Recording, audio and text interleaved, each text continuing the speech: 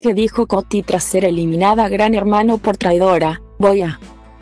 Para sorpresa de muchos y no tanto de otros, Coti, la jugadora más polémica de la casa.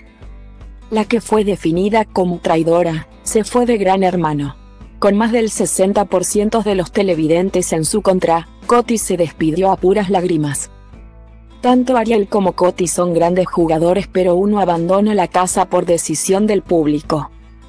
Quien deja la casa de Gran Hermano en este uno de año es Constanza, anunció Santiago del Moro.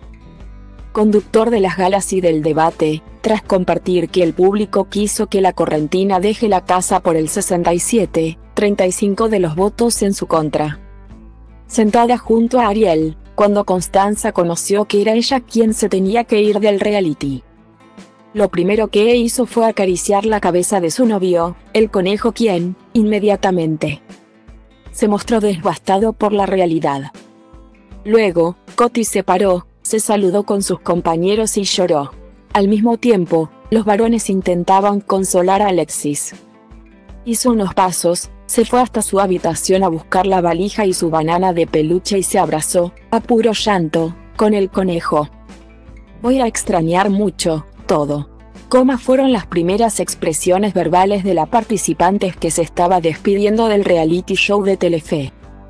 Mientras salía del interior de la casa. Coti, te mando un abrazo muy grande y te deseo todo lo mejor afuera de la casa le expresó la voz de GH, luego de anunciarle que era momento de que se vaya. Muchas gracias. Qué hermosa alegría está, gracias a todos. Y se fue por el mismo lugar donde, dos meses y medio atrás, entró.